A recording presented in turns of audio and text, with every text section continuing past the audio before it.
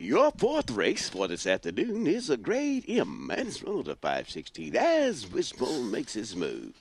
And now, ladies and gentlemen, he is Wishbone. They're off at the break.